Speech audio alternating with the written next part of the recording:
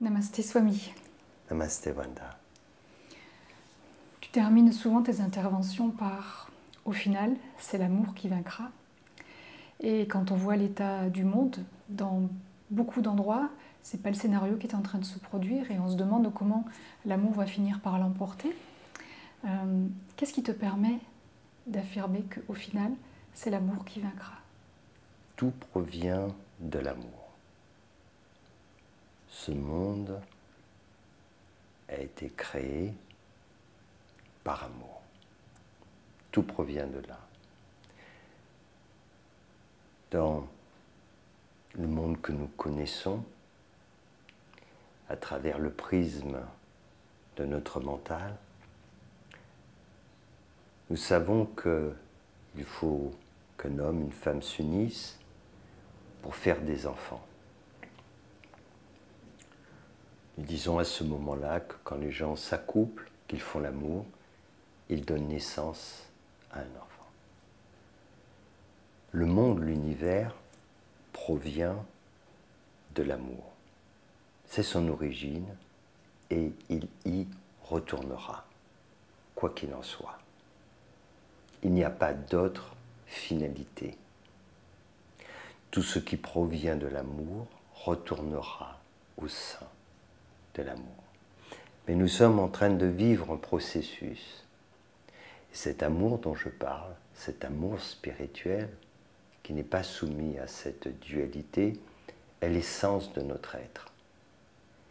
Et ce voyage de l'âme est là pour qu'un jour, non seulement nous nous remémorons cela, mais qu'étant incarnés, nous arrivons à diffuser de l'amour, à propager cet amour, car c'est ça l'objectif.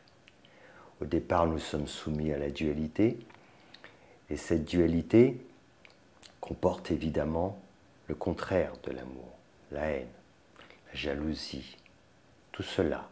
Et nous l'expérimentons de façon significative.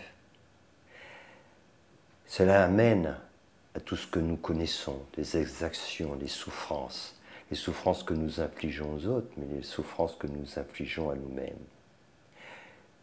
C'est la dualité. C'est pour ça que nous recherchons autre chose. Nous recherchons à vivre des expériences plus apaisantes, plus bienveillantes, mais quand même nous les vivons, nous nous rendons compte qu'à chaque fois, l'autre facette existe. C'est pour ça que même en pensant aimer des personnes, ces mêmes personnes, on peut les détester à un autre moment. Parce que nous sommes prisonniers de cela, de cet amour-sentiment, soumis à cette dualité, que nous croyons qu'au fond, c'est ça l'amour. Non, cela est un lointain écho de ce qu'est l'amour. Et il nous faut remonter. Donc, la question c'est, quand allons-nous parvenir à cela? C'est ça en réalité. Mais nous sommes programmés pour y parvenir. Alors ça ne veut pas dire que ça se fera tout seul. Car si nous ne cheminons pas vers la lumière, la lumière ne viendra pas à nous. C'est ça qu'il faut comprendre. Oui. En même temps, tu disais, l'amour est à l'origine de ce monde. C'est lui qui a créé ce monde. Et comme tu dis, tu perçois au final c'est l'amour qui vaincra, ça veut dire que l'amour est là au début, à la fin et aussi pendant tout ce que nous vivons. Euh, est-ce que cela veut donc dire que hum, l'amour sous-tend en fait la création et il est toujours présent, même lorsque l'on vit, lorsque certaines personnes vivent des situations euh, parfois terribles, sont sur des, dans, des zones de, guerre, vivent des agressions très violentes. Alors les êtres avec qui elles sont en contact exprime tout le contraire, la haine, la violence, mais l'amour est toujours présent en fait, euh, puisque c'est lui qui permet quand même de maintenir la vie, que le monde continue d'évoluer, de vivre malgré tout ce qui se passe. L'amour est omniprésente dans l'univers, elle est dans la matrice même. L'amour est toujours là. Simplement, dans ce monde soumis à la dualité, cela s'exprime pour nous dans des sentiments différents, opposés. C'est ça, en fait, toute la problématique. Et c'est pour ça qu'il nous faut réaliser à un moment donné que ce que nous comprenons comme étant l'amour n'est pas vraiment de l'amour. Mm. Comme je le disais, c'est un lointain écho. C'est pour cela que la perception dont nous avons de l'amour nous fait vivre, rechercher quelqu'un avec qui nous allons vivre, et qui nous allons faire des enfants. Mais on réalise en même temps qu'on est toujours soumis à cette dualité, qu'on peut à la fois être attiré par une personne, vouloir faire des enfants avec, et en même temps avoir beaucoup de colère, de jalousie, voire détester personne. Et c'est ça, en fait, qui nous pose des problèmes, qui nous, qui nous font aussi réaliser qu'il y a quelque chose qui n'est pas abouti. Et c'est vrai dans nos relations amicales, familiales, etc. Mm. Pourquoi? Parce que c'est au stade de cette dualité de l'être humain ordinaire. Mais notre devenir, c'est d'aller au-delà, au-delà, remonter, remonter à la source. Et cela est essentiel parce que c'est pour ça que nous sommes incarnés dans le monde. C'est pour spiritualiser la matière. Mm. Et cette spiritualisation se fait par cette élévation de conscience, par le fait d'élever cette énergie du troisième chakra au quatrième, où là nous allons faire l'expérience de l'amour inconditionnel. Ce n'est plus une expérience qui est du domaine de ce que nous connaissons sur un plan ordinaire, c'est une expérience spirituelle. Nous ouvrons une porte que nous n'avons jamais ouverte. Et là, à ce moment-là, cette essence de notre être, qui est l'amour inconditionnel, se révèle.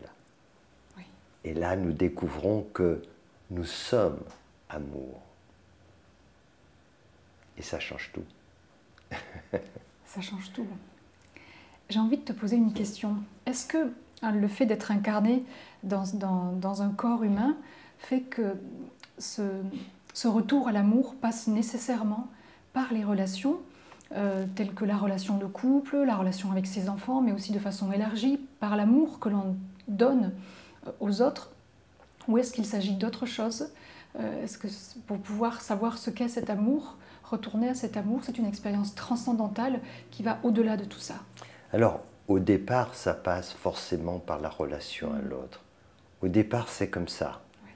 Mais quand j'ai dit au départ, il faut bien s'entendre sur les mots. Je parle, euh, je fais référence à la maturité de l'âme. Nous avons des, faisons des milliers d'incarnations. Donc, départ, notre âme va s'incarner donc dans un corps où elle va soumise très fortement à la dualité. Et nous avons besoin de rechercher cette complémentarité. Nous le vivons. Et puis, au fil du temps de nos incarnations, nous finissons par réaliser que nous n'arrivons pas à trouver cet équilibre, que quand bien même nous, trouvons une personne avec qui euh, cela va bien fonctionner, c'est-à-dire que nous ressentons une complémentarité, qu'elle soit sur le plan affectif, sur le plan psychologique, sur le plan sexuel, tout cela ne nous amène pas à cette plénitude. Pourquoi?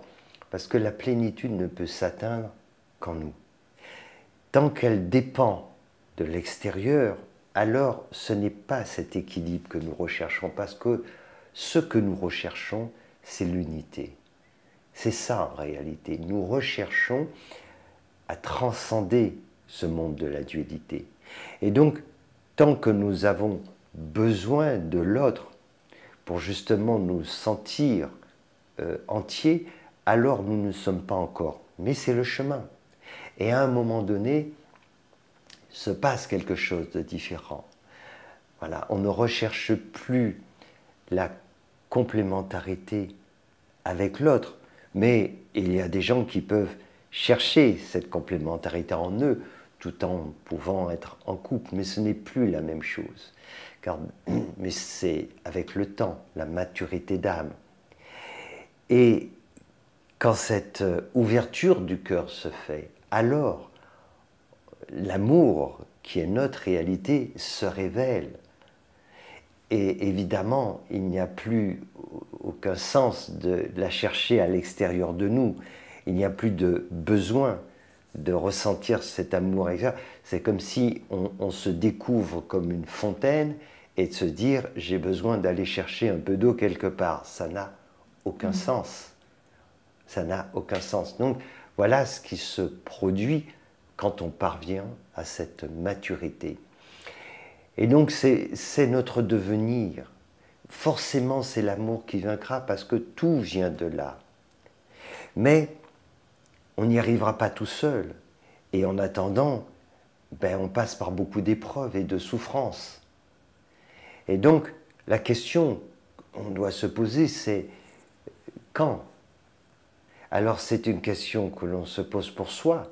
Quand est-ce que je vais faire que ce soit l'amour qui va vaincre? Ça, c'est important. Et quand cet amour triomphe en nous, alors il se propage dans le monde. Et c'est ça qui est important. Mais c'est pour ça que je dis euh, qu'au final, c'est l'amour qui vaincra. Parce que il a déjà vaincu. Hmm. Tout provient de l'amour. Hmm. Tu viens de dire quelque chose, il, se propage dans le monde. Ça veut dire qu'il est contagieux quand quelqu'un éveille cet amour inconditionnel, universel. Ça veut dire qu'il a un effet aussi sur, sur, sur les, les, personnes autour, mais bien au-delà. Alors c'est important effectivement de, de, comprendre comment ça se passe. Sur le plan des sentiments, on sent bien que quelqu'un peut exprimer des émotions, peut exprimer des, des sentiments, et on le ressentant, on le ressent, pardon, de part et d'autre. On peut ressentir cela. Ok. Mais ça se passe à un niveau individuel. Ce sont nos sentiments, nos émotions. Mais quand on, passe au stade supérieur, qu'on ouvre cette quatrième porte, qu'on entre dans le courant de l'amour universel, alors c'est autre chose. Cela veut dire que on devient un vecteur de cet amour universel qui peut, à travers nous, se propager dans le monde. Et donc ce n'est plus nos sentiments que l'on va exprimer et que les autres vont ressentir plus ou moins. Là, c'est cette énergie d'amour universel qui va se révéler à travers nous et se propager autour de nous. Et c'est pour ça que plus on va, plus il y aura de personnes qui vont parvenir à cette ouverture du cœur, et plus l'amour va se propager dans le monde. Imagine, tu vois le monde, il est en feu. On sait que le monde est en feu. Toutes ces guerres, toutes ces violences. Un cœur qui s'ouvre, pas des sentiments, je parle de l'amour inconditionnel, cette porte. C'est comme, je parlais de fontaine qui va jaillir. Imagine plusieurs. À ce moment-là, c'est de l'eau qui se déverse sur cet incendie et ça finit par devenir un océan, un océan d'amour. C'est exactement cela qui se produira. Et pour que ça se produise de façon conséquente. Parce que depuis des siècles et des siècles, des êtres vivent cela, des êtres s'éveillent, des êtres vivent dans cette plénitude de leur être, font l'expérience de l'amour inconditionnel, cela existe depuis. Mais ce qu'il y a de particulier à notre époque, c'est que les choses vont tellement mal, la situation est tellement catastrophique, ou le dire, sur le plan des tensions, du climat, etc., qu'il y a un appel, mm. un appel à s'éveiller, un appel à cette ouverture du cœur. Et donc c'est une grande opportunité pour que des milliers, et pourquoi pas des millions de personnes, vivent cette ouverture du cœur. Et si cela se produit, et je ne doute pas que cela se produira, alors cela peut changer totalement l'avenir du monde.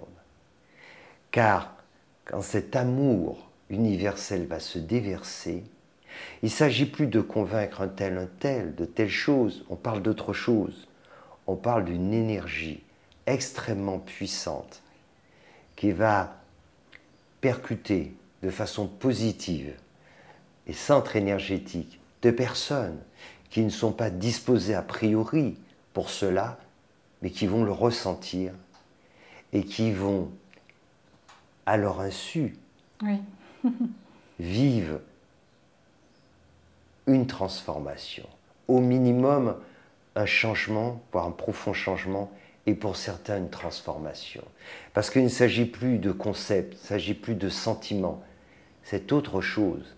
Quand on entre dans ce courant de l'amour inconditionnel, il n'y a plus de mots pour en parler. Et c'est pour ça que, au final, c'est l'amour qui vaincra.